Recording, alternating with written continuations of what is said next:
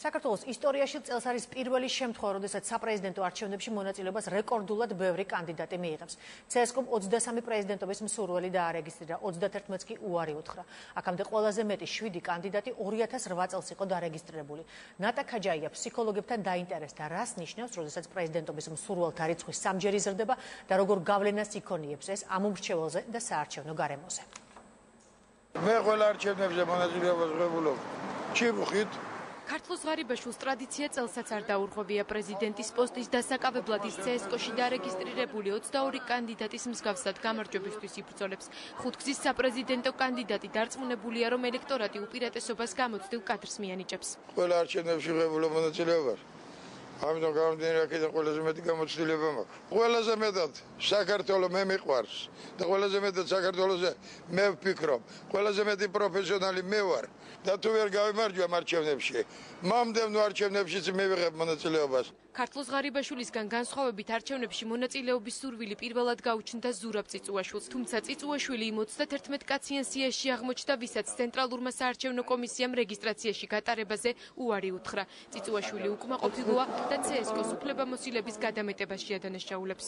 ჩემთვის გასაგები არის როგორი ფორმით მუშაობს ეს ორგანიზაცია.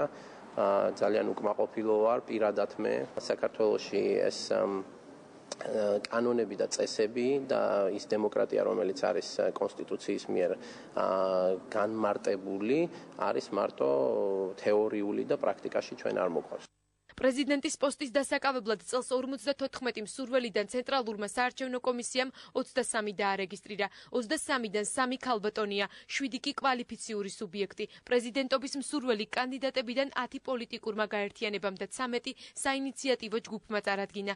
რამ განაპირობა არჩევნების მიმართ გაზრდილი ინტერესი და მოახდენს თუ არა გავლენას. საარჩევნო გარემოზე პრეზიდენტობის მსურველების რაოდენობა ამ კითხვით მოამბემ დღეს PR ტექნოლოგებს მიმართა. წლევანდელი არჩევნები იმით გამოირჩევა, რომ პოლიტიკური სივრცე უფრო მეტია, გამოკვეთილად ლიდერი კანდიდატები არ ყავს, ქარიზმატული საარჩევნო კანდიდატებიც არ მონაწილეობენ საპრეზიდენტო არჩევნებში. თვითონ პრეზიდენტის ინსტიტუტიც ასე ვთქვათ, უფრო განსხვავებულია და არ არის იმდენად მნიშვნელოვანი ქვეყნისთვის ზოგადად პოლიტიკურ სტატუსს გულისხმობ და შესაბამისად გამოვიდა ისე, რომ ბევრმა იფიქრა, რომ ქონდა შანსი ამ საპრეზიდენტო არჩევნებში გამარჯვების. საკუთარი არგუმენტები აქვს ფსიქოლოგებსაც. ზურამ ხეიძე მიიჩნევს, რომ CSKO-ში დარეგისტრირებული პირების ნაწილს პრეზიდენტობის კანდიდატობა პირადი მიზნებისთვის ჭირდება. ერთ-ერთი მიზანი მათ შორის შეიძლება იყოს უბრალოდ პოპულარობა. ეს ცნობადობა დაეხმაროს რამე სხვა საქმიანობის განხორციელებაში. ბოლო-ბოლო შემიძლია ჩემი ნახლა CV-ში აღნიშნო, რომ ვიყავი ამ ადამიანებში პრეზიდენტობის კანდიდატი.